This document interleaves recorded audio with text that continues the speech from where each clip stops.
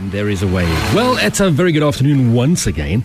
Uh, quarter past two exactly. And as promised, on the line, we have Connell Cruise from Johannesburg. Connell, how are you doing? Hey, Gary, how are you doing? I'm doing well. How's Joburg today? Hey, it's going. It's so warm today. Uh, Yeah. We've been going through a bit of a cold patch, but today it's looking great. Same here. Same here. It's been raining like crazy. We had floods last week, and now it's on its way back to summer. Yeah, I heard that. Crazy. Yeah, great, cool. Absolutely crazy weather. Connell, you are making quite an impact on the, the local Christian music scene, the worship scene. But but City of God is about all we know from you. So I wonder, should I get you to sing on the telephone for us? Mm, maybe not. No, Maybe not. there'll, be, there'll be a song coming through about August that, that you guys can listen to all you like. cool. I believe there's a new album or a, Uh, a it's it's going to be on a comp- compilation album, um, the iShine compilation album that's being released by Integrity. Okay. going to have me and uh, Courtney Jonas and uh, another young lady named Shanna. Shanna. It's just going to be um, uh, three songs from the, each of us going out to South Africa to uh, spread the iShine news. Great. We're going to talk about Asha now. First of all, though, I want to take you back, way, way back to just after you can start remembering. You were four year old, four years old, Yeah, that's just after I can start remembering. and you were sitting at the piano. yes, I couldn't even reach the pedals actually. Where did your love for the piano come from? oh, um, I grew up in a house, uh, my grandmother's house, Uh huh. and uh, I mean it's a beautiful ancient place. It was one of the first houses in the area where she lives, and um, I mean, it has such a beautiful piano room. I mean, it's just filled with history and, and Spanish architecture and all sorts of posters and um, this beautiful Otterbach piano. I Mhm. just couldn't stop playing it. So. Uh, I mean, it's just that it's that smell, it's that feeling, it's Mhm. the, it's the environment of the room. Um, And th- then you went for lessons, and, and you got your grade eight, eh? Yeah, I did. Yeah, um, Awesome. a couple of years ago, I got my grade eight from Trinity uh, Music. Mm-hmm. Connell, tell me, classical music. Yeah, You have a love, obviously, for classical music. I mean, when you learn the piano, you learn classical music. What can you say to young people today about appreciation of classical music? Because a, a lot of young people don't see it as that cool, if I can put it that way. yeah, that's right. And uh, I went through a stage where also I didn't think it was that cool. Uh, if it wasn't for my mum my grandmother just pushing on me and uh, making sure that I, I went through it, I probably would have given it up. But I've, I've come to realize just recently that music is this. We, we often think of it as a static, um, just going through phases, you know, kind of a block in history. We've got Mm. techno, we've got pop, we've got rock.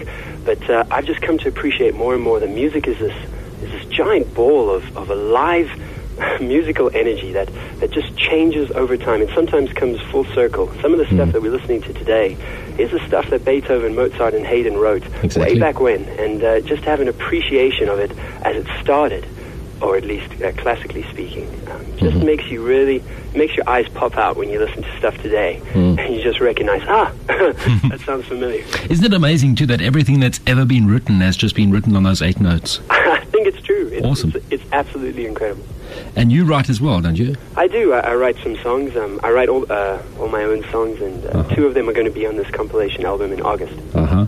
Connell, what's, what's your passion when it comes to songwriting? What, what do you want? What, what is your message? You know, uh, Gary, until uh, until about recently, it was all about inspiring people and uh, giving a message of hope and, Mm. and love and, and teaching biblical truths. But really recently, I've just come across that the greatness of God and Mm. His glory, His majesty, His awesomeness, His bigness, um, everything He is. If I can just show that, if I can just point people to Him in my music, I think that's uh, that's all I want to do with my songs. hmm That's what Michael W. Smith has done, eh? For yeah, many yeah, years. he does. Yeah, and he's a huge influence of mine. Yeah, I, I, I see that. Have you seen him? Have you met him? Never, not even Not- once. but I, I stalk his Facebook page every now and then. Facebook, Facebook, Facebook. I want to ask you something about Facebook. Yeah? In the media release that we have, you said, um, media, or not you said, but the, the statement says, media is the language of our time, Yeah, central to kids and the emerging pop culture found in every sphere of life. yeah. What is your feeling about social media, things like Twitter, Facebook, and, and the way young people are, are latching onto it? Obviously, it's a good thing. It's got its its bad side as well. But what, what for you? What what does social media and the whole internet explosion mean to you as a young artist? Look, I, it just makes it just makes everything quicker. You know, um, what before took a, a week or a month or or a year to get out, you know, a song or a, or a message or a thought, now Mhm. can take uh, just a matter of seconds. Um, it's a it's a fast-paced world we live in, and Mm. the changeover that young people especially experience. I mean, one day they'll like this, and the next day they'll hate it and like something else. Yeah. Um, Facebook and Twitter, things like that, just make it quicker to happen. And I think uh, it keeps it keeps artists especially on their toes. You know, there's got to be a lot of give and take. Um, how much of me can I, I let out? How much do I want to keep to myself? Mm. I've just recently kind of come to a place with my social networking where I've I've had to draw the line between it being life or being social networking. Uh-huh. You know? Trying to um, parade myself, my my personality, my life. There's got to be a limit, I think, on it. Mm. Um, otherwise, I'm just uh, I'm living a, a second life. You know. I, I, well, I, I think that's the problem with it as well. I mean, I'm on all of them as well, but there is that danger of, of living that second life where you you almost become somebody else in, in cyberspace. Absolutely, and, And, uh, uh, I mean it's so easy to pretend, isn't it? Yeah. You just put on a face. I've I've tried to uh, be a lot real, more real in Mhm. uh, in my day-to-day interactions. Um, but having said that, Facebook and Twitter is just such an incredible place to meet people, um, Mhm. to network, to expand your horizons of friendship, of of learning, of experiencing culture, even. Um, Yeah. It's a it's a real mixed bag of blessings and curses, I suppose. It is. Uh, talking about being, being real, that's what you're striving for as well, as far as I understand in, in your songwriting. I mean, it's so easy to write a, a wishy-washy lyric that, that sounds nice and rhymes well, but ends up being, as you say, a mindless one-liner. Oh, absolutely. I uh, I hate the cliche. You know, Mm. I um, when I write music, uh, the music part, the chordal progressions and the scale passages, the arpeggio, that that comes right away almost. Mhm. Uh, the part I really struggle with is the is the lyrics. The lyric. It takes me forever. I just I can't settle for anything that's that's just so mundane. You know, Mhm. it's got to be real and, and packed with with meaning. I mean, uh, I really want to fuel that message of the glory and the greatness and the majesty, how awesome God is, Hmm. with uh, experiences from my life. You know, things Yep. that I've been through, things that I've wrestled with, that uh, that hopefully other people can relate to as well. And you got to you got to be careful in a case like that that it doesn't become about you type Absolutely, of thing. Absolutely, yeah, And that's a challenge all That's the the time. challenge. Yeah. Um, um, um, um, um idols, idols. Yeah. Talk to us about idols. I, uh, I went to Idols last year. Um, I auditioned for season six, hmm and uh, man, it was an experience. I won't lie. I don't think I'd ever do it again. Uh-huh. Um, but famous last words, I suppose. But uh, it taught me a lot about this industry and uh, and especially how maybe reality TV works. Yeah. But, uh, I mean, I made some great friends, Elvis and, and Lloyd and, and Jess as well, good friends from from that time. Mhm. And uh, I went pretty far. I went to the top 30, which isn't so bad, I suppose. Not bad at all. So you got your golden ticket. Uh, yeah, yeah, golden ticket. I've still got it. I, Uh-huh. I thought about framing it, but I thought that might be a loser thing to do. Yeah. No, come on, man, do it. It's a good memory. and what happened from there? I mean, obviously that was a stepping stone to, to where you are now. It was. It was. It, uh, if anything, it really motivated me. I Mhm. think uh, just gave me a, a, an opportunity to to see that I might potentially be able to do this. You know, I might I might have it in me to to make to make this work. Because music, while it's always been a part of my life, it's never been something that I thought I could make a, a focus, a ministry career out of. And Uh-huh. uh, I think Idols, if it did anything, it really just motivated me to think that's quite a possibility, and and I just maximized on it. I try to I try to make the most of the opportunity and uh, give glory to God in, in, throughout it. And uh, from that, um, I got a lot of attention, which was great. And eventually, Integrity noticed, and which was even great. and uh, eventually, Integrity signed me, which was the greatest. And uh, and now it's I mean, it's just been a year. I can't believe it, and so much has happened. Connell, is there a danger with, um, obviously you thrust into the limelight. Oh, by the way, the, you're on TV now as well, the, Yeah, the, the One Gospel program on DSTV. Yeah, I am. Hosting it? Well done. It's the iShine All Stars show. Awesome. Um, myself and Courtney, we present it every uh, Saturday. Uh-huh. And uh, man, that was experience too because I'd never done that before either. I'm sure. And uh, I mean, it's just such a such a fun thing, learning scripts and saying stuff, um, having to, uh, you know, if you make a mistake and you just repeat it again, it's quite a difference from live performing and, Mhm. and reality TV. So, man, I'm just I've been blown away by the uh, the wonderful opportunities, open doors the Lord's given me lately, and uh, It's awesome. He's blessing you big time. Is there is there a danger because for a non-Christian to be thrust into the TV limelight and, and Yeah. idols and the music and the, the CDs and all that sort of stuff, it it must be a, a, an amazing ego boosting thing. But as a as a Christian, you're your heart is different. You, I mean, you, you're humble. You, you want to serve God. You want to glorify God, but still you get the adulation and all that sort Oh. of stuff. How do you balance it? You know, Gary, I, uh, I mean, I'd be lying to you if I said the ego didn't uh, boost and the, Mhm. the pride didn't flare up. Even though I'm a Christian, Yeah. um, I, I love attention. I'll be the first one to say that. And uh, I think uh, what's different for me is I've got wonderful friends, um, friends who, who hold me accountable, who who pick up on me and make sure I'm I'm on the right path and, and not falling off. Mhm. I've got wonderful friends who make sure my head's not getting too big, which kind of hurts sometimes. Mhm. um, they have a they have a wonderful, gentle way of being extremely forceful f- with me. But um, I'm very grateful for those friends because they keep me uh, on the path that I need to be on, the path That's that's, that's getting things done, Uh-huh. the path that's that's focused on glorifying the Lord and, and, and making this work instead of a path that's just going to lay back and soak in the light, which is Yeah. really temporary, I think. if It. It will pass. Yeah. Wow. iShine. Tell me about iShine. Right, iShine, uh, it's a it's a great initiative. Um, it's very big in the states, and Mhm. Integrity is introducing it here in South Africa. It's a tween thing in the states. Eh? It is Yeah. a tween thing in the states, and uh, uh, we're we're trying to make it a little bit more mature. We're we're uh, we're aiming it at teenagers. So Mhm. it's uh, it's it's all um, young focused. It's based on music mostly, um, music videos and interviews with young local Christian artists. Uh, that's what the TV show is anyway.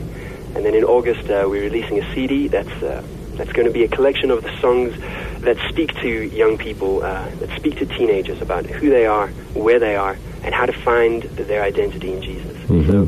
So that's the vision, that's the project. Um, it's supposed to encourage, its hope is uh, that we'd encourage young people in South Africa to just shine for the Lord and, uh, and live their life to the fullest to make the most of every opportunity for Jesus. Mhm. Connell, you're very involved with youth, not so?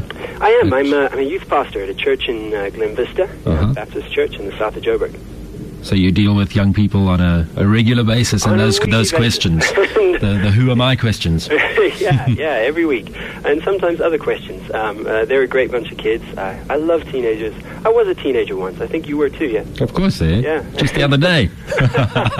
and uh, and uh, I think uh, it's such an important time. Uh, Yeah, it maybe is. we don't realize it when we're in it, and we don't like to hear about this when we're in it. But it's such a, a defining time in, in a young person, in a person's life, just Mm. to figure out who they are, who they're going to be. It's a turning point. Okay, let me put you on the spot. There's a, hypothetically speaking, there, there's a young person listening to this interview right now. Yeah, A teenager, 15, 16 years old. Yeah. Their life is falling apart. Nobody loves them. Their parents don't understand them. Their friends uh, hurt them all the time.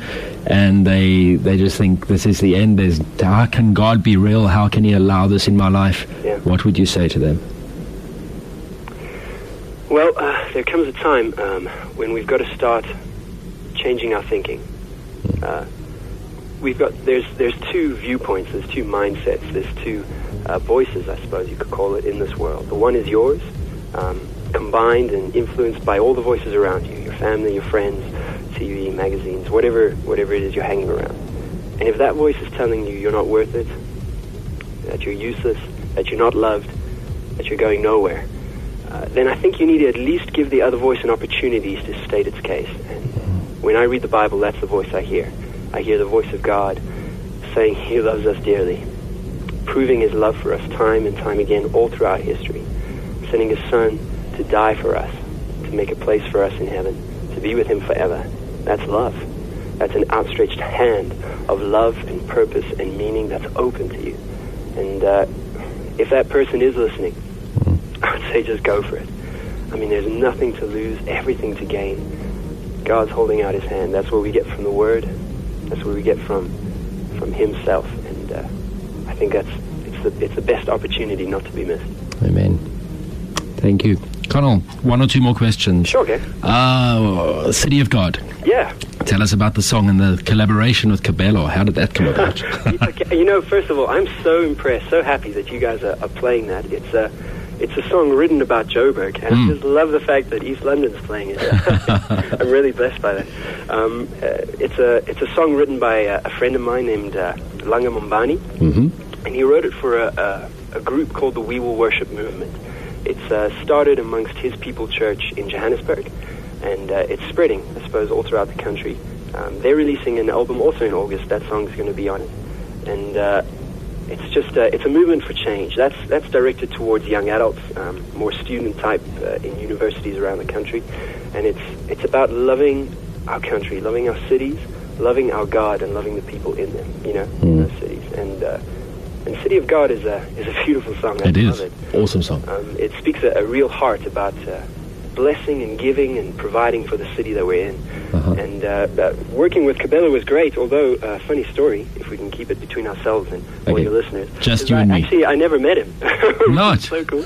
I, uh, I came into the studio, I recorded my parts, and uh, he came in maybe a week or two later and, and recorded his. Mhm. It's only later, um, through a, a mutual friend of ours, Gary Mark, uh, introduced me to him at Rhema. Sure. And uh, so during the song, I, I never met him at all. But So you've never performed it live either with him? Oh, uh, yes, that came later. Oh, okay, Um, okay. About uh, a month after we recorded it, we, Hey. we did the concert at UJ, Uh-huh. University of Johannesburg here in Joburg, and uh, he and I shared the stage together, and that was great. Great, I mean, man. Uh, he's such a down to earth, real guy. He Mhm. loves the Lord, and he's just got he's got such a fine tune to detail. Uh, we were just sitting in the back, um, the dressing room before we had to go on, and I was just you know.